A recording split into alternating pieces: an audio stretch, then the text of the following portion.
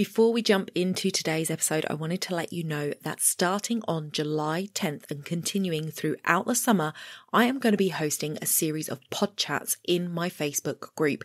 I'm going to be talking to podcast hosts about their podcast journey, why they started, why they continue, the troubles and tribulations along the way, the brilliant ahas that they've had, guests, all of the good stuff. We're going to be talking about it all in my Facebook group, Start Podcast UK. Come over and join the group at facebook.com forward slash groups forward slash Start Podcast UK. Come and join the conversation. I hope to see you there. You're listening to the Mindset and Action Podcast, the place to be to grow and streamline your business. I'm your host, Donna Eade. Let's jump into the show.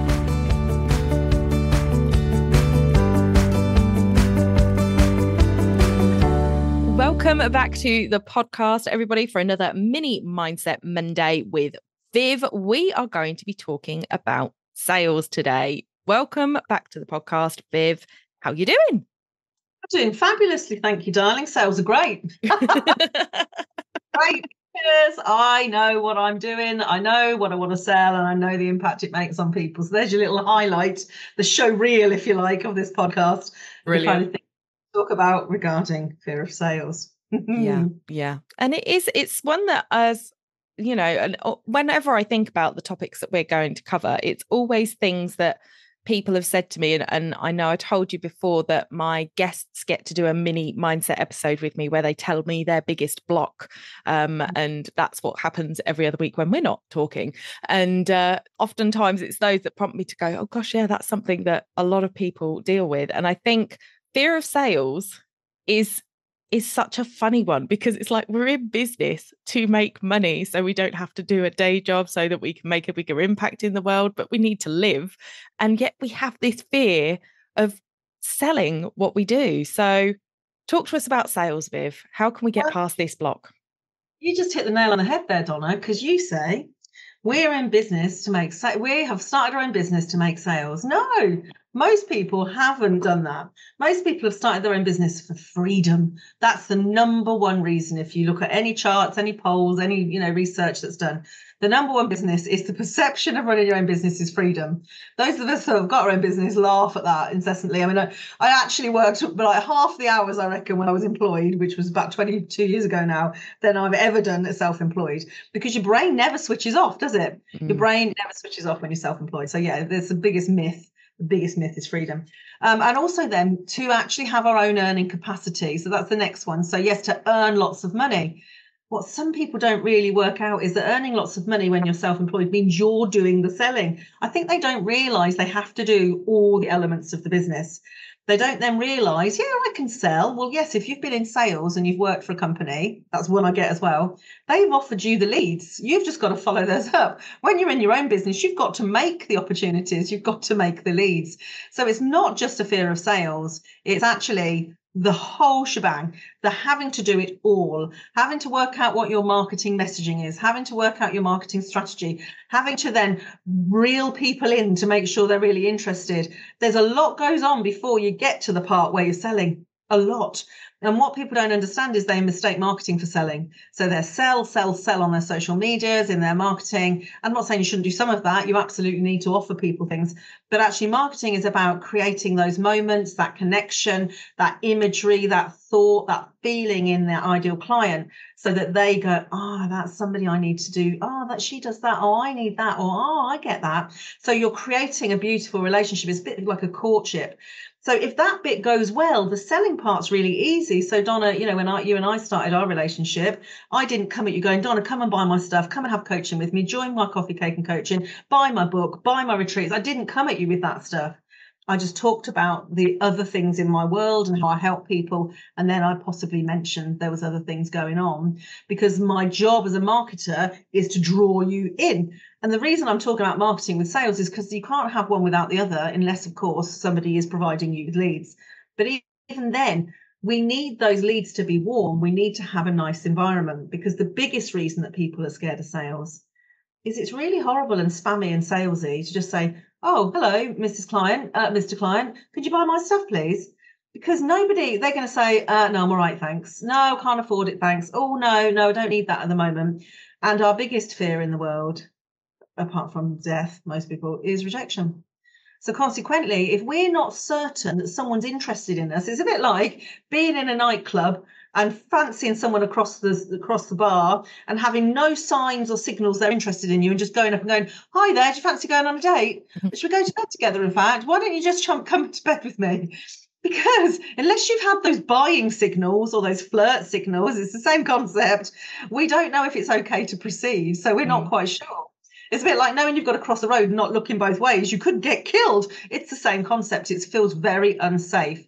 So the marketing part is to make the sales easier. Most people can't be asked with the marketing because it's hard work, it's hard graft. Yes, social media is free, takes you 52 hours a day. It's not easy, right? And also because it's free, the whole world is doing the same. They're all shouting really loudly. They've got the best thing, the thing that's going to change everybody's life. It's the cheapest thing for the best value. Like it's so noisy out there that actually you can't be bothered with that either because actually you just rather just have a nice holiday and you know you cap the money into your bank but sadly they all go together. So the fear of sales is really the fear of rejection. It's also the fear of not being as good as the other people that are saying they're amazing because of course if you're new to business especially you don't know that you're amazing. You know you might have an inkling you might have done even the job when you were employed but actually as a business owner you don't feel amazing. So even as somebody who helps people with their podcast Donna, you might think you're great at helping people with podcasts, but your brain says, yeah, but you're not very good at running a business. I'm not saying that's the case for you, but that's the way it goes. And this come back to the last episode we talked about identities. Identity of who you are when you do what you do is different to the identity of business owner, marketer, salesperson.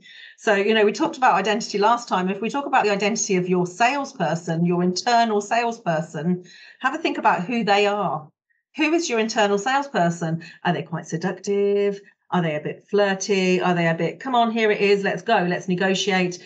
Because we're all very different in our personality types. Um, I know we were talking about cats earlier. I do a training, it's free on my website about cats and dogs and determining who somebody is based on whether they're a cat or a dog. And it's quite a fun piece of work rather than have to do massive psychometric tests. And if you think about a cat or a dog, they're very, very different. So a cat, you can't read them. They're very still. They're very steady. They want what they want and they want it now. You can't make a cat do anything, as you know, Donna, because you've got a few um, and you're a cat lover. So a cat will eat when it wants. You have to leave the food down. We, we, get a flick of the tail, and we don't know if that's good or bad actually sometimes because that same flick could mean I'm happy or I'm sad. Um, and we really can't read a cat. And a cat you have to draw to you. And so sales is very much the same as that.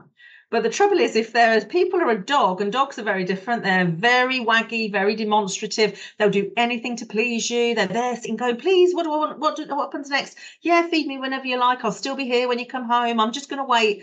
Their, you know, their heads bob along side to side. You know, we know they're waggy tails, and they've got several different wags. I know because I've got four of them. Obviously, my wife is a behaviourist, so I know all about dog behaviour. So they're very, very different. And so when we're selling to someone, are we selling to a cat or a dog? And the trouble is, if we're a cat or a dog and we're selling to the opposite, opposites don't attract and opposites don't match when we're talking about sales. So if you're a cat, you're very much let's talk about it, let's negotiate, let's get on with it, very simple terms. And you're trying to sell to a dog. A dog wants to know how it feels. If a dog wants to know what's going to happen, are we going to go and play? Is it fun? What's the experience? So we've got a mismatch, and of course it can work the other way around. Mm. So we've got um, so we need to think about who we're selling to. Number one, we need to think who we are as a salesperson. Number two, and actually then we have to make sure we know what we're selling, and that's number three. I'm not doing seven today, but yeah. the third one is what are we selling, and do we really believe in it? Because if we don't believe in it, no one else is going to believe in it either. So if we, if we, and when we're starting out, it's really tricky. I know back in the day when I started my recruitment business, my first ever client, even though I'd done recruitment for other companies, it was very different for me. Like that person was going to pay me and me alone. And I remember thinking, shit, what if I can't do it? What if I don't find them the member of the staff and they're going to pay me all this money? What if that member of staff leaves? I have to give it back to them. I had a whole load of doubt that was being moved on to the sales process. My own fears and my own inhibitions were being completely played out energetically, emotionally, physically. Like I remember sitting looking at the phone thinking, yeah, you just got to ring them. Just pick up the phone and ring the people on the list, the list that you've created. Just ring them. You just got to. I mean, I'm back in the day now. It's a long time mm. ago. We don't. In fact, no one rings anyone today. And if anybody rings us, we're like, who the hell is that? No thanks. Um, so yeah, I remember thinking, oh, and the same with the email list. Just press the click button. Just press it. Just press it. What's going to happen? So we're just terrified. We're terrified of appearing salesy, even though we want to sell. It is crazy. Because the craziest thing is that everybody out there wants likes buying. I don't know about you. I bloody love shopping. It's my thing. like I'm like TikTok shop. I'm I'm all over it. Wherever there's something to buy, you know, Facebook ads work beautifully on me. I'm before I know it, I'm looking at Ted Baker's latest, you know, spring line, whatever it is. Um, I'm really easy to sell to. So, but of course, if that if Ted Baker was scared to sell to me, I would never buy Ted Baker, would I? So this is a real challenge. And so you're going to ask me, so what do we do about it? What do we do about it? Is we power up our own belief in what we do and ourselves. Because once we do that, that radiates across all of our marketing. It radiates into our sales process. It radiates into our products and our pricing. Self belief, self confidence is at the core of being able to sell. Because if you haven't got that, you can't believe in yourself, you can't sell. Quite straightforward. Your self belief about what you can really do for someone and not promising the earth when you can just give them, you know, a county. Let's make sure that what we're promising is absolutely what we can give because then the people will come for what we can give. But most business owners think they have to serve everybody with everything. They have mm. to be like a big company. They have to be Ted Baker and sell everything. Whereas actually, if I want a specific shoe, I'm going to go to somebody who sells specific shoes. So we need to be the expert. We need to believe we're the expert. We need to prove we're the expert so that by the time someone comes into our sales field, into our process, whether that's by, you know, messenger or phone or email or however we're doing it, Facebook groups, whatever your bag is, that actually that sales is just a conversation. It's not uh, please buy my stuff. And in fact, if you're doing your job right, that person is asking you the questions and you're just simply providing information. So when you and I would have first met Donna, and I know this because I don't ever sell realistically, your conversation would have been, so what, how much is it? What time is it? What's going to happen? Who comes? You would have been asking me lots of information. Therefore, I'm not selling, I'm just giving information. And once we get into that place, it's not scary at all. Mm. We are just basically helping that person understand some stuff. So it's about framing sales as more about information giving, serving, notifications, because that's essentially what selling really is if you're doing it right. So if you've got somebody on a sales call or you're in the DMs trying to have to convince someone that person is probably not warm enough, they're not your person or you're desperate. And actually, desperation does not sell. Desperation stinks. No one wants to buy from a desperate person. Uh, and we've all been there, by the way, especially at the beginning when we literally just need the money to pay the rent or the, well, like literally, I would have, you know, coached a dog, quite frankly, back in the day. Uh, when I first started, I was like, oh, you want me to help you do this? Yeah, fine. Um, you know, and at the beginning, it was, you know, train and certify and coach a lot of coaches, as you know. Um, and it's okay to do that at the beginning. It's okay to do that at the beginning of your business because you just don't know. You might, you know, stumble across something that is the thing you want to sell to people. It's the thing you want to do, and it might not be the thing you start out with. So, yeah, that's fear of sales in a nutshell. Brilliant. Brilliant. There we go. There we go, guys. So, if you want more information on fear of selling and you want to work with Viv to overcome that, then head over to our website. She has everything over there come and join us for her monthly networking that she does totally free offers training and you get to chat to some fantastic ladies over there. Um, so i'll leave all those links in the show notes. Don't forget you can ask viv anything um, with within reason um, at the link in the description below. And uh, we will see you in a couple of weeks. Bye for now